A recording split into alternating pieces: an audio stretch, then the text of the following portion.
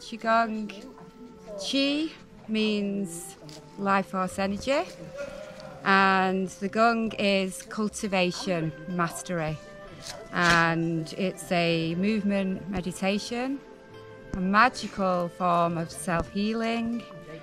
It's, it, it has the powerful ability to be relaxing but energizing at the same time. It's dated back at least 7,000 years.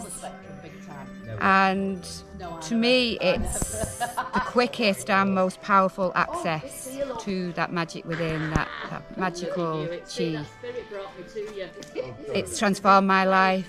My immune system is the strongest it's ever been. I've not even had a sniffle for two years. It's helping to move any of that stagnant energy that can get stuck moving it out, moving it on. It's not just a practice for older people, as many people think. It's just for everyone. And where can people join you?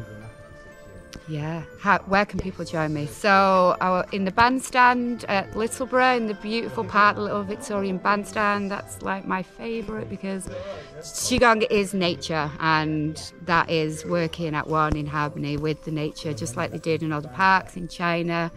Um, and then when the weather kicks in, I'm also going to be doing sunrise, sunset ones. I'll be doing some at the wonderful bridge um, in Hebden Bridge when, when that gets started, probably like November time.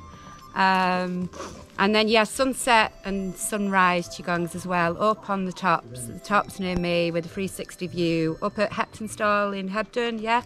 So doing a nice sunset one up at Heptonstall as well in the ruins there.